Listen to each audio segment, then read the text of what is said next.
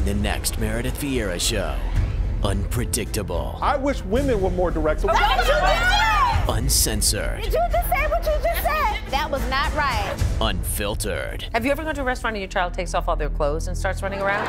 We are live. All my friends are married. They don't even throw the bouquet anymore. They just hand it to me while I'm sitting down. Live in May on the Meredith Vieira Show.